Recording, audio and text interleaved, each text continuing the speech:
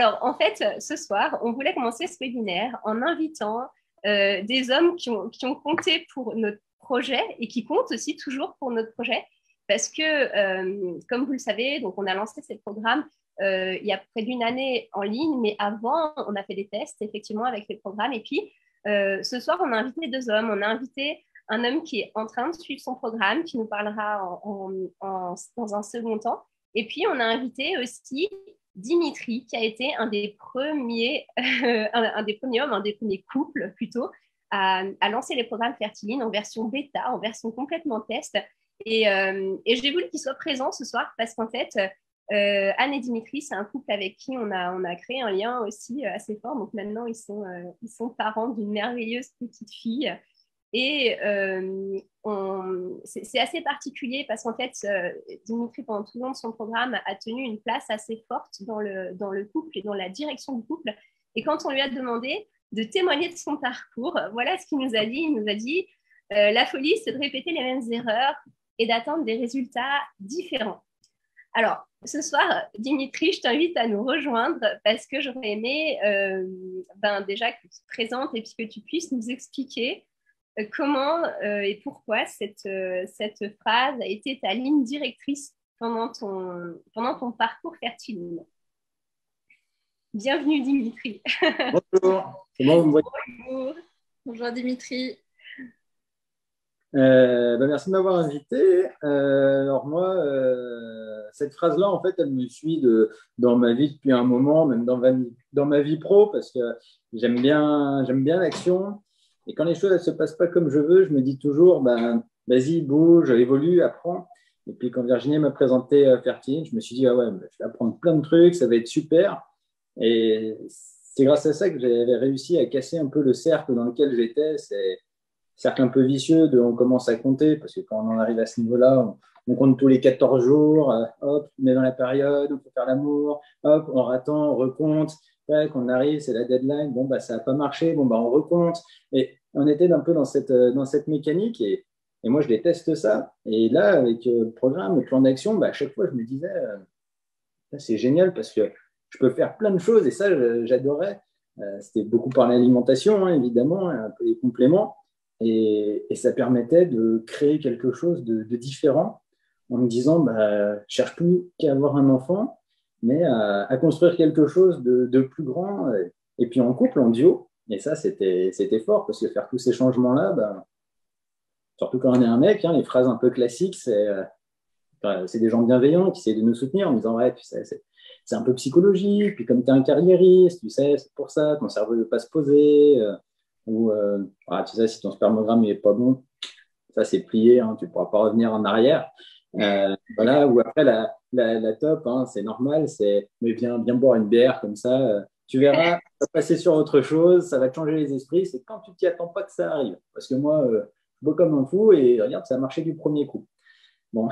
et c'est dur. D'ailleurs, c'est dur ces discours parce que c'est un peu la réalité de, de, de, l'homme. Hein. Souvent, dans, le, dans les groupes d'hommes, d'amis, c'est minimisé un petit peu les problématiques de fertilité. D'ailleurs, c'est parfois même pas exposé. Je ne sais pas si toi, t'en parlais en fait à tes, à tes, amis. Euh, enfin, est-ce que c'était euh, euh, expliquer à tout le monde ou, non, en fait bah, Non, très peu, parce que comme ça, la réponse facile, c'était bah, effectivement, non, c'est pas le moment, ça évitait d'avoir trop de débats. Mais une fois qu'on change, qu'on change son, plan alimentaire et compagnie, bah, là, déjà, on commence à plus devoir creuser. Et la première victoire qui, fait vraiment basculer la donne, c'est quand je suis retourné chez mon médecin avec un test spermogramme positif. Enfin, positif, c'est pas le terme, mais avec un meilleur score. Bien amélioré, oui. Voilà, bien amélioré. J'ai plus les stats en tête, hein, mais euh, il avait au moins triplé. Et, là, j'ai Effectivement, c'était d'excellents résultats, vraiment. Et alors, il faut dire que ce spermogramme euh, vraiment hyper, hyper amélioré, tu l'as obtenu au bout de, de cinq mois. Et, et je ne crois pas, Dimitri, moi, que tu aies fait le programme à moitié. Je crois que tu as été très, très engagé, en fait, hein, dans, dans ce programme. Enfin, en tout cas, euh, tu me posais beaucoup de questions. Donc, je, voyais que, que tu étais engagé par toi-même. Donc, euh, je crois que c'était quand même assez, euh, mérité tout ça, vraiment. Oui, ouais, ouais. Et puis vraiment, en, tant qu'homme, pour ceux qui, regardent, je ne me rends pas compte combien il y a d'hommes qui regarderont plus tard, le message que j'ai à leur dire, c'est qu'un jour, ils vont sûrement réussir, je leur souhaite en tout cas, et qu'après, on passe vraiment dans une phase, et ça, je ne voulais pas y arriver, où d'un coup, on passe les hommes pour un peu au second plan, où ben, on ne pourra plus rien comprendre, on comprendrait quand on pourra le sentir. Après les périodes sage-femme et compagnie, on va nous dire, bah, vous n'avez pas ce lien avec l'enfant, donc changer une couche, donner le bain, tout ça, vous n'allez pas savoir quand il est malade, justement l'instinct féminin, vous l'avez pas. Et moi, dans ma tête, quand on me disait ça, je pensais tellement à Fertiline et aux actions que j'ai faites, euh, et je me disais, quand j'ai attaqué ce programme-là, il était presque plus encore euh, chez moi que dans son ventre, et je me disais, je sais pas si ça va marcher, mais en tout cas, j'ai pris la décision de le faire pour l'enfant que j'ai pas encore, et, et, du coup, vous pouvez même dire ce qu'il voulait, j'étais déterminé. Voilà. Excellent. C'était déjà un super papa avant qu'il soit là. Ouais, je sais pas, mais avant qu'elle soit là. Oui, Avant qu'elle soit là. Et, et, ta, ta, conclusion, du coup, sur, euh, sur ce que tu as fait, sur tous ces changements, ça t'a demandé beaucoup d'adaptation, hein, très clairement, mais euh, ton, constat aujourd'hui, tu as, des regrets, tu es, content, tu, te dis, mais waouh, heureusement que je l'ai fait, parce que bah, aujourd'hui, tu es papa, cette expérience, elle est, elle est hyper chouette. C'était évidemment l'objectif, mais je pense que quand on l'atteint, c'est bien au-delà de ce qu'on imaginait encore. Donc, euh, ton, ton, feedback par rapport à cette expérience, du coup, c'est quoi? Bah, c'était, c'était dur, les changements sont très durs, on a eu plein de, hauts, de bas et compagnie, on va pas, on va pas se leurrer, mais euh, quand une fois qu'on l'a, la, petite et tout, et que des fois, bah, c'est elle qui va pas bien, des fois je dis à ma chérie, avec tous les efforts qu'on a fait, avec toute la génétique qu'on lui a donnée, T'inquiète, elle va s'en sortir. Vrai, pas vrai, j'en sais rien, mais c'est le seul moyen que j'ai de me, remotiver. Donc, je suis, je suis heureux tous les jours et je pense à ces moments-là qu'on a vécu et, je suis très heureux de l'avoir fait. Excellent.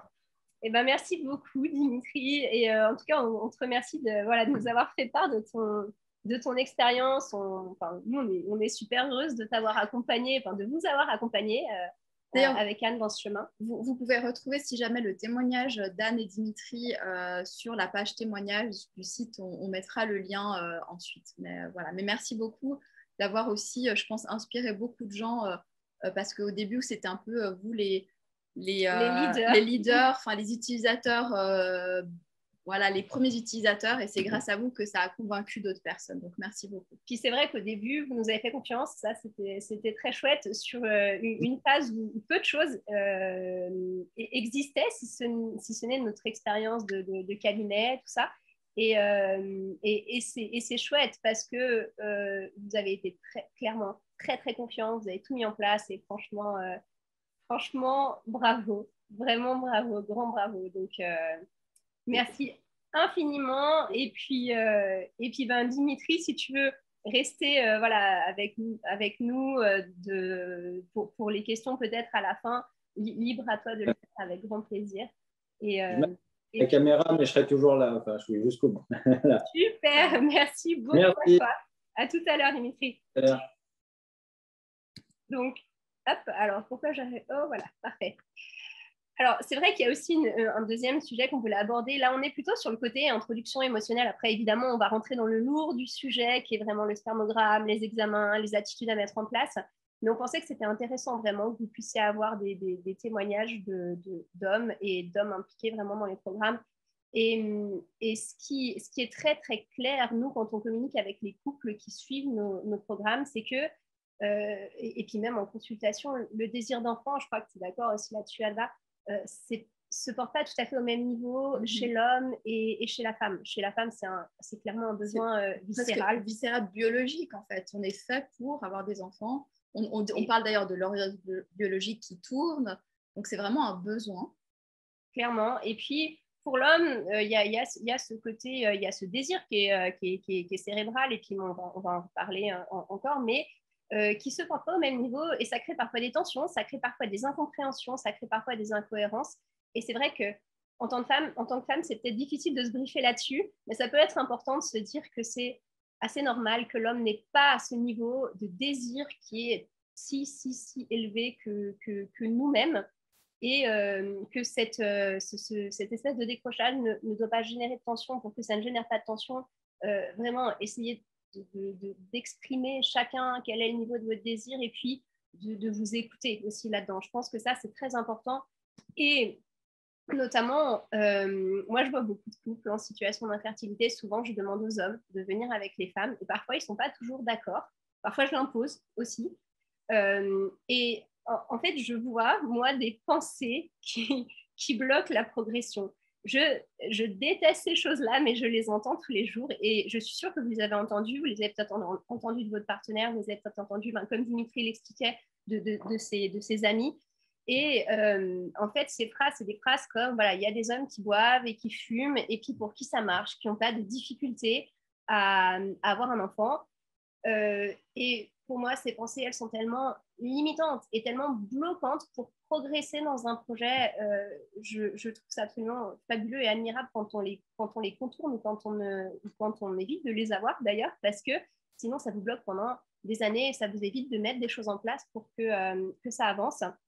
Et, et, maintenant, je vais inviter un, un, autre homme qui est actuellement dans les programmes et qui est aussi, euh, donc, qui est aussi pour nous un couple fort. Alors, tous nos couples, on les adore évidemment, mais euh, Eric, donc je te laisse nous rejoindre, Eric, avec ta caméra, ton micro, mais dès que en fait, dès qu'on enclenche un programme, donc là, c'est important ben, que, que l'homme euh, ben, puisse euh, trouver sa place, donner une impulsion.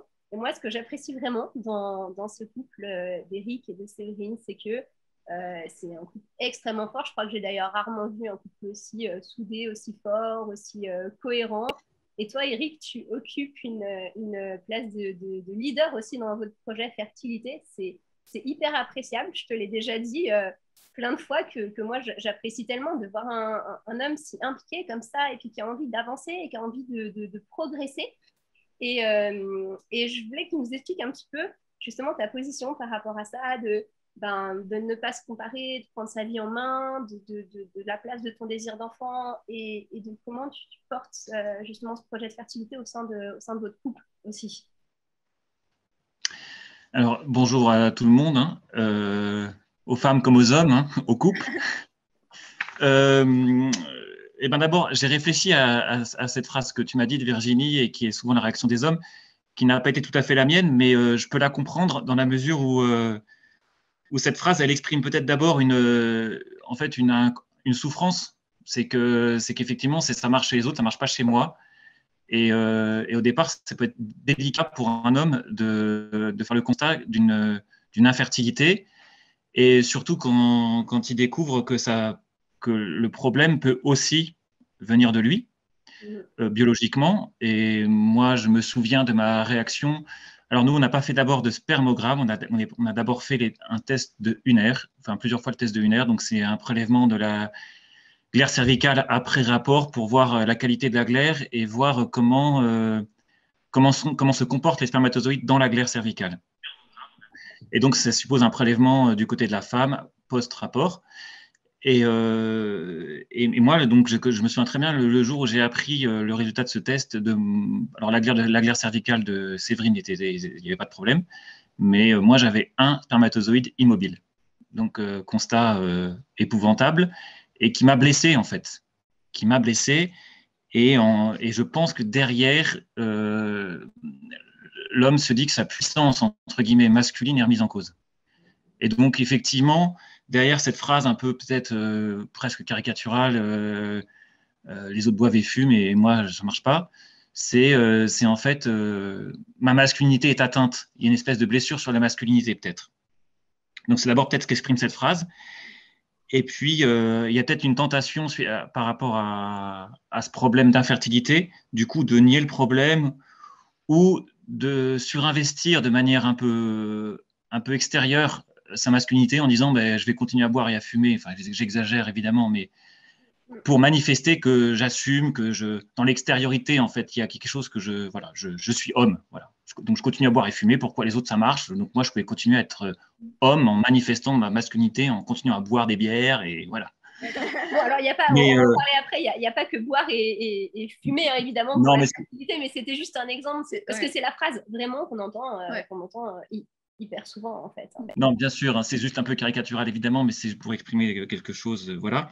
Mais je pense qu'au fond, être homme, c'est pas évidemment, c'est pas boire et fumer, c'est pas les biscottos, c'est pas montrer quelque chose d'extérieur, mais je pense c'est plutôt porter justement quand il y a un problème de fertilité, de porter avec euh, avec sa femme, avec celle avec qui on va avoir un enfant, euh, la fertilité et prendre sa part de responsabilité justement, euh, et du coup être une sécurité pour elle,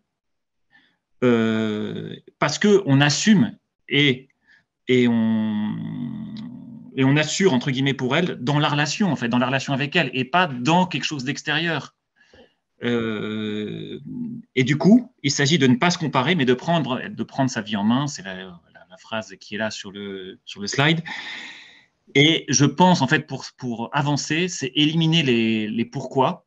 Pourquoi les autres ça marche, euh, pourquoi ceci, pourquoi cela, parce qu'il y, y, a des tas de pourquoi dans ces cas-là. Hein. Euh, pourquoi euh, l'autre il est ceci, pourquoi moi je suis pas comme ça. Bon. Et on pourrait dans la vie faire une énumération de pourquoi. On peut pourquoi en réalité. Alors on peut en trouver plein, donc c'est n'est pas le seul qui existe dans la vie. Mais du coup, soit on reste au pourquoi et alors on reste inactif, ou alors on fuit la question, soit on se dit bon ok, il y a ce constat, et ben je mets en place les solutions, c'est-à-dire que je m'attaque au comment mm. et je m'implique. C'est la, la, seule réponse qu'il y a à avoir et c'est le parti que j'ai pris. Euh, et, dans ce parti que j'ai pris, du coup, j'ai été conduit euh, dans un second temps, et je vous ai expliqué donc ma réaction par rapport au test de UNER, en fait, à me dire, face aux épreuves euh, bah, d'échec avec Séverine, et eh ben de, de me poser la question au fond, ce désir d'enfant, est-ce que c'est celui de Séverine ou est-ce que c'est le mien aussi? C'est-à-dire qu'en fait, je me rendais compte que comme vous l'avez exprimé, c'est-à-dire que le désir d'enfant chez une femme est, presque viscéral, et chez l'homme, il l'est moins. Euh, et, du coup, je pense que s'il n'y avait pas eu ce problème de fertilité, je ne me serais pas posé cette question. Si ça avait marché, je me serais dit, ben voilà, j'ai un enfant parfait, je suis content, et sans me poser plus de questions. Mais là, j'ai été conduit à me dire, mais est-ce que moi aussi, je veux vraiment cet enfant? Est-ce que je le veux? Et, euh, et du coup, il a fallu en fait que je pose personnellement, intérieurement, ce je veux pour euh, continuer le chemin avec Séverine et mettre en place les moyens. Sinon, ça ne marchait pas. Sinon, effectivement, je laisse Séverine toute seule se débrouiller. Je la suis plus ou moins de bon cœur ou de mauvais cœur, enfin, en faisant plus ou moins la tête. Euh, mais non, en fait, je veux cet enfant, et si je veux cet enfant, ben, je m'implique. Et je m'implique en euh, prenant ma responsabilité et en portant avec elle ce désir, en comprenant qu'elle a ce désir qui ne se manifeste pas de la même manière que moi, mais qui pourtant est commun en fait au fond. Et euh, petite parenthèse sur l'enfant aussi, c'est que je pense qu'au fond, un homme parfois pourrait avoir du mal face à un constat d'infertilité à aller vers ce je veux pour deux raisons. C'est qu'il peut avoir peur de l'enfant pour deux raisons. C'est qu'il a peut-être peur, et moi je me suis posé la question, de perdre sa place dans la relation. C'est-à-dire, si une fois que l'enfant sera là, on connaît bien l'instinct maternel et le rapport de la femme à l'enfant, et de se dire, mais une fois qu'il y aura un bébé, où est-ce que je serai, moi? Est-ce qu'elle aura encore du temps pour moi? Est-ce qu'elle a encore de l'affection pour moi? Est-ce que, etc. Et je pense que. C'est difficile d'exprimer ça, j'imagine. Euh, probablement que beaucoup d'hommes euh, ont ce ressenti, mais ne, mais ne l'expriment pas parce que aussi pour une femme, c'est peut-être difficile à entendre. Eh ben, du coup, j'en ai parlé à, Séverine qui m'a qui m'a dit clairement, qui m'a dit mais, non, que bien sûr que je, reste. Euh, alors nous, on est mariés, donc je reste son époux, celui qu'elle a choisi, qu'elle aime, et que du coup, euh, il n'y a pas de souci avec ça. Et euh, mais il a fallu qu'elle me l'exprime entre guillemets pour que j'en sois rassuré. Mhm. Et mais je pense que c'est une question qu'il faut oser peut-être se poser, échanger avec avec ben, celle avec qui on va avoir un enfant pour euh, que les choses soient claires et qu'il n'y ait pas d'ambiguïté là-dessus, et que la femme aussi s'engage effectivement à toujours laisser la place à son homme, euh, qui sera le père. Voilà.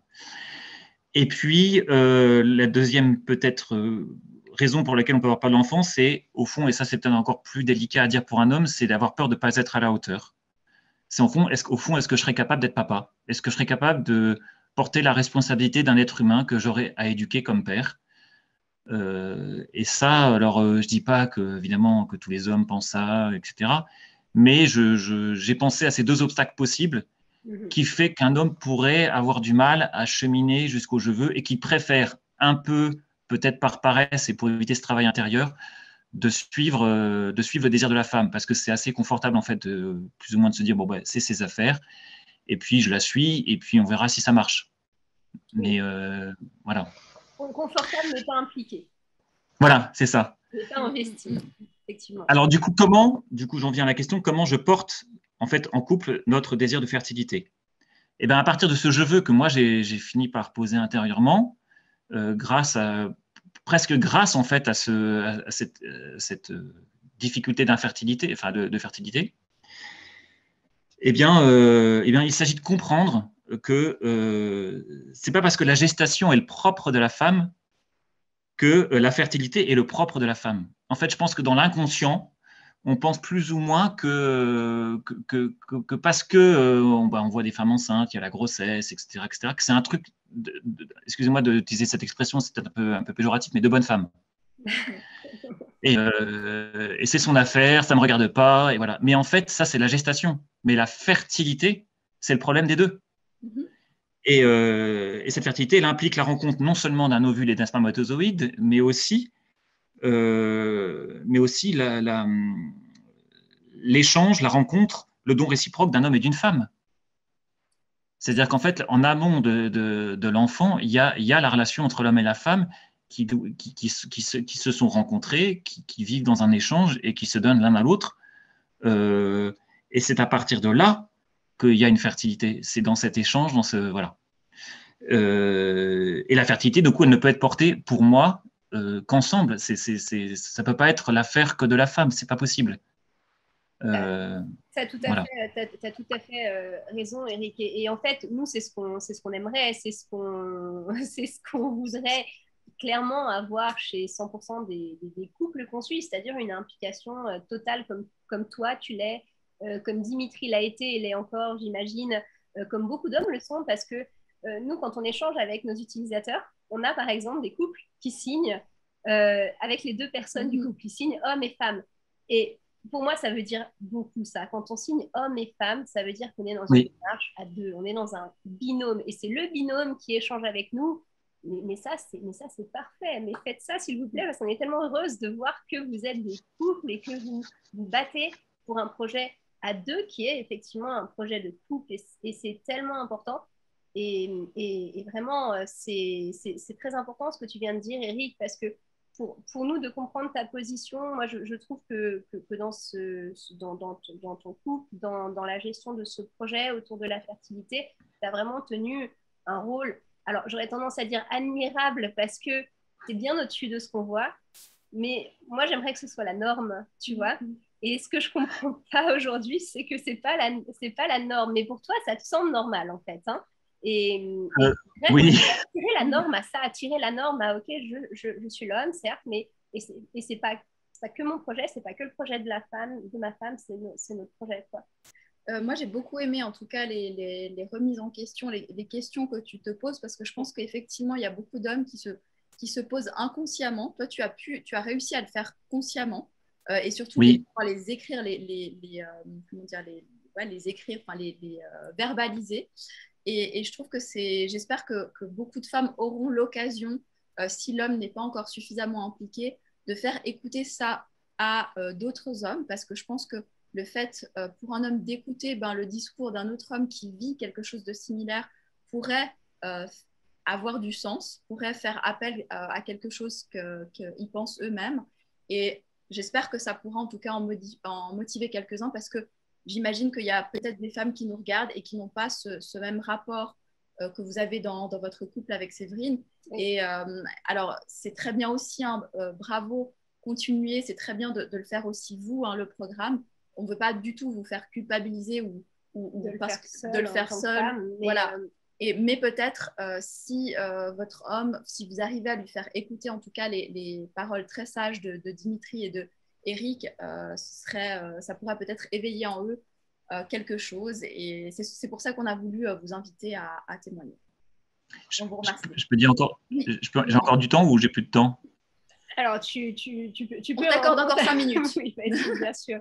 Mais du coup, je voulais quand même donner des exemples d'implication parce que là, j'ai parlé un peu un peu théoriquement sur, euh, sur, voilà, sur des idées, mais mon implication, c'était en fait la première fois qu'on a fait un suivi. Alors, c'était avant Fertiline, on a, on a un suivi qu'on pourrait appeler de euh, naprotechnologie. Alors, c'est euh, c'est un suivi en vue d'une procréation naturelle, médicalement assistée, parce que notre désir, c'est de procréer naturellement pour des raisons voilà, personnelles.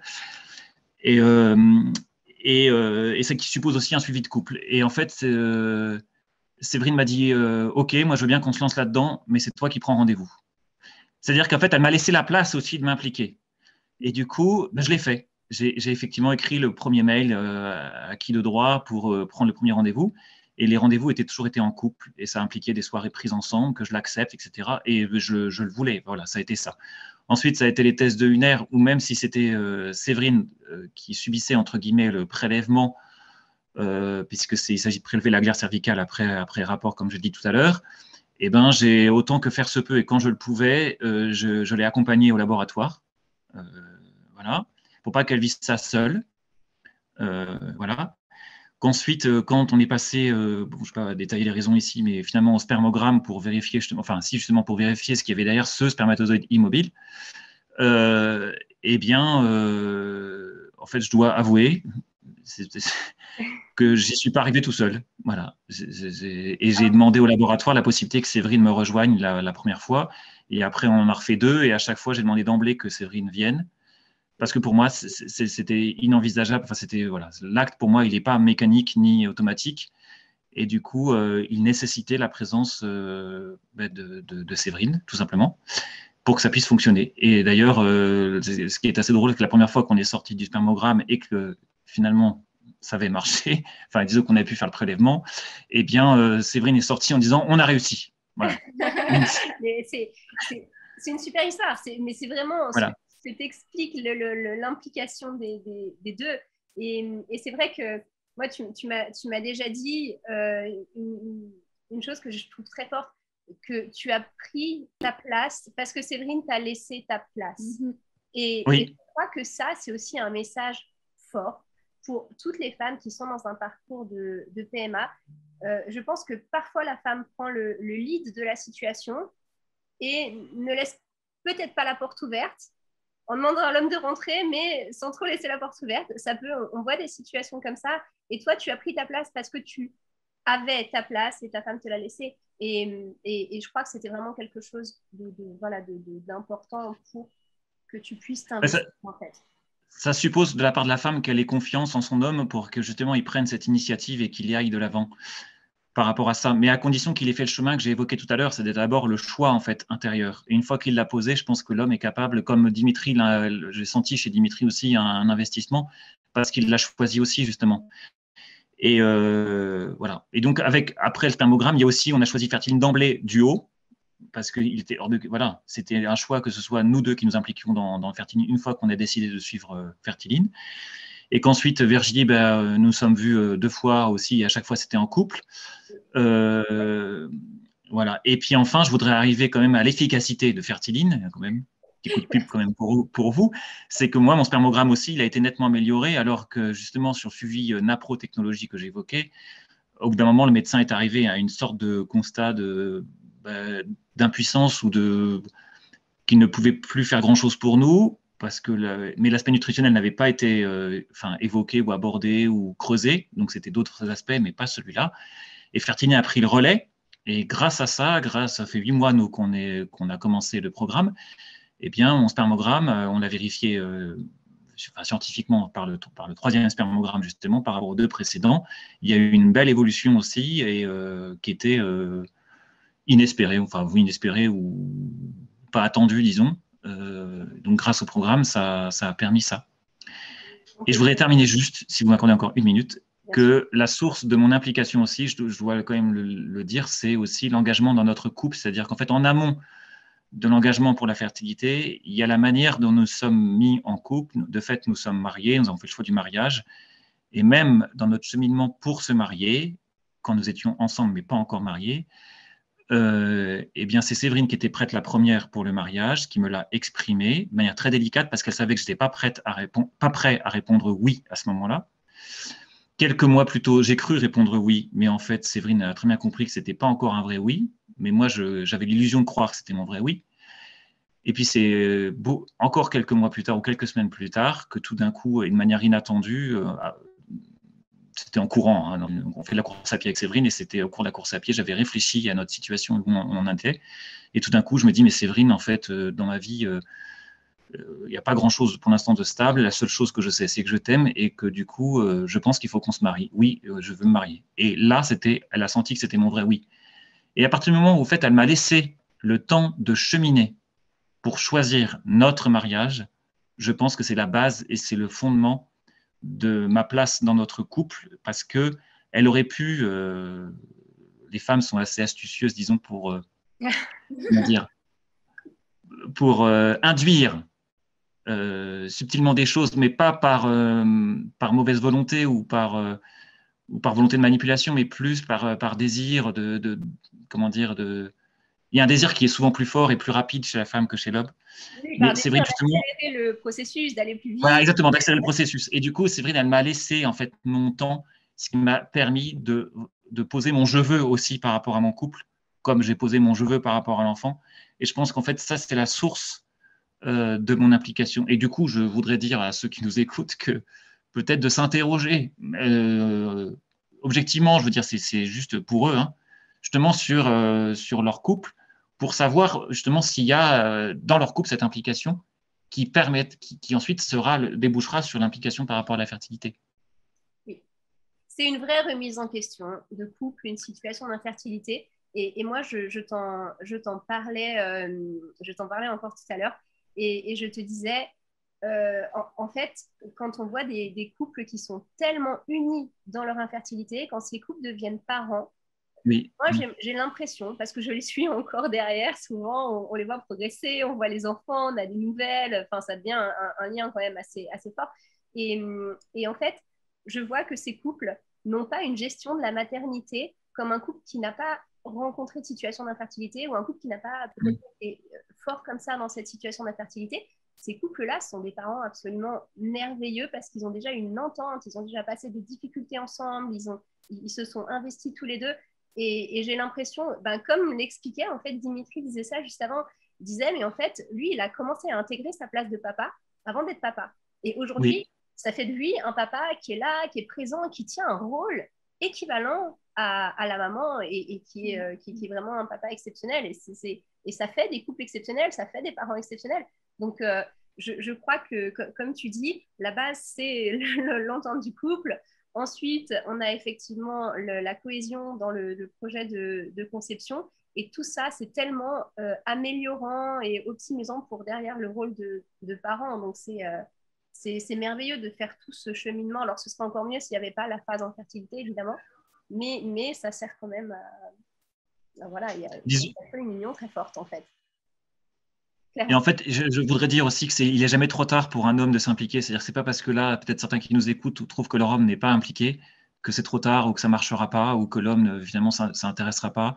Moi, je voudrais inviter les femmes qui se sentent découragées par rapport à ça de, croire quand même à la capacité de leur, leur homme à s'investir à, partir du moment où justement d'essayer d'échanger, d'essayer, mais pas à la manière féminine, c'est d'essayer de vous comprendre aussi que chez l'homme, il y a une blessure de sa, de sa puissance masculine et, euh, et de le rejoindre là et de lui dire, mais euh, de, de, de l'encourager plutôt ou de, de voir aussi qu'il y a peut-être des peurs cachées par rapport à l'enfant, enfin tout ce que j'ai évoqué en fait, de comprendre qu'il peut y avoir ça derrière, qui peut-être n'ose pas se dire, euh, que n'ose pas dire l'homme, parce que c'est parfois difficile pour un homme d'avouer sa faiblesse ou sa fragilité ou ses questionnements intérieurs. Et, euh, mais du coup, de croire que ces questions peuvent exister malgré tout dans la tête de leur homme et que euh, si elle leur laisse la place de l'exprimer, si euh, assez finement, délicatement, il y a peut-être la possibilité que finalement l'homme retrouve sa place ou finisse par comprendre qu'il a une place et que, et que sa, sa compagne en a besoin. Et. Excellent. Merci beaucoup, Eric, pour, euh, pour toutes ces euh, réflexions grandes euh, et puis, importantes, en fait, hein, pour la, place de l'homme dans la pas que dans l'infertilité, mais dans la fertilité, dans la conception, dans la, dans la parentalité.